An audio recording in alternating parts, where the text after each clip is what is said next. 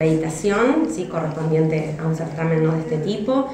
Eh, hasta las 10 de la mañana, digamos, comenzará eh, la presentación. Eli hablaba de eh, un encuadre político, sindical y pedagógico, digamos, enmarcado en bueno, aquellos grandes pedagogos que de alguna manera también, digamos, hacen, hicieron a la historia de, de Latinoamérica y de la liberación de los pueblos latinoamericanos.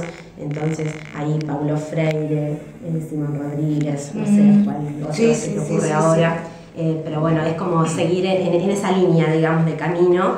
Eh, y digamos, y a la mañana se realizará entonces el encuadre y la presentación, digamos.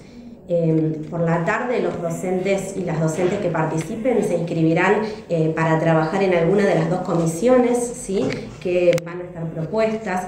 Una de las comisiones va a a tener un eje que tiene que ver con las experiencias curriculares emancipadoras, eh, algunas experiencias, por ejemplo, de escuelas de em, los distritos, por ejemplo, como French, Patricios, rurales, como el Tejar, em, y de educación en derechos humanos. Ese va a ser uno de los, uno de los ejes, digamos, eh, a trabajar y eh, la otra comisión va a, interpretar contenidos que tienen que ver con los procesos de alfabetización eh, y el arte y el lenguaje en la escuela también como un colaborador de esos procesos de alfabetización.